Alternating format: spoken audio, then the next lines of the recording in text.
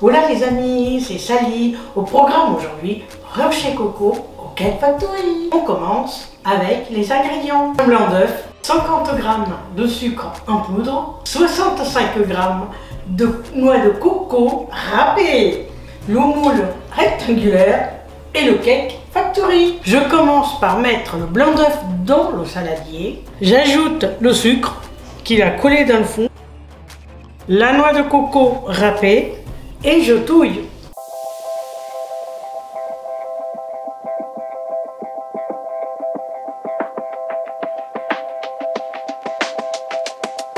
Et voilà les amis, jusqu'ici c'était pas compliqué. Maintenant passons à la formation du rocher. Je mets le moule rectangulaire à côté du saladier. Je prends un peu de pâte dans mes mains et je forme le rocher.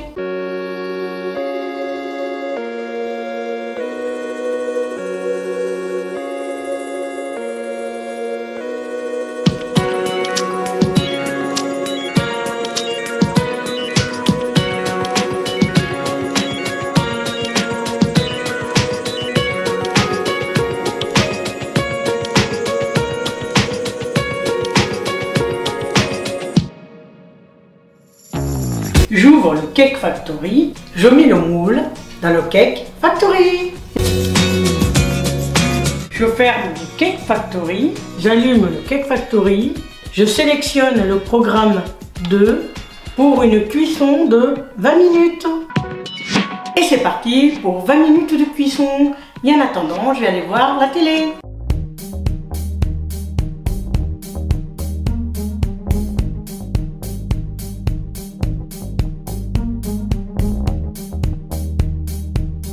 J'ouvre le Cake Factory.